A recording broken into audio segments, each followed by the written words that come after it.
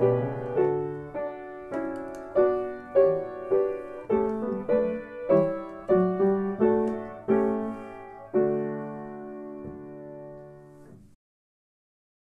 Lake from UK Fundraising.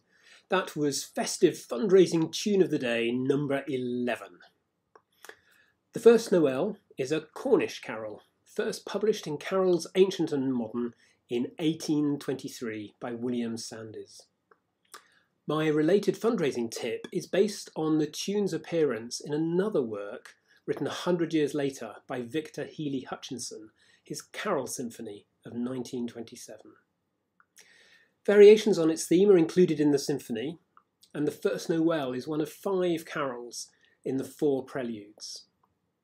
The First Nowell section is my favourite, featuring a long crescendo of a repeated theme on the harp.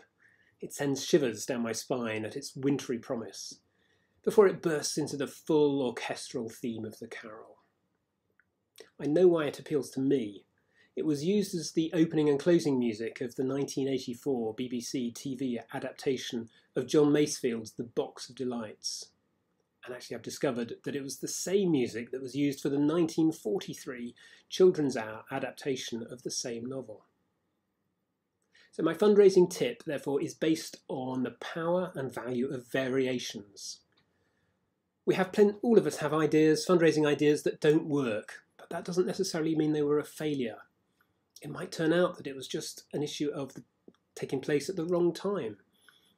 It could have been sent to a better or different segment of your supporters or involved them in a different way. Sometimes it simply just takes a different charity to run with the idea successfully. So, review, measure, and ask for outside advice on how an underperforming fundraising campaign might work better. Explore the variations on your theme.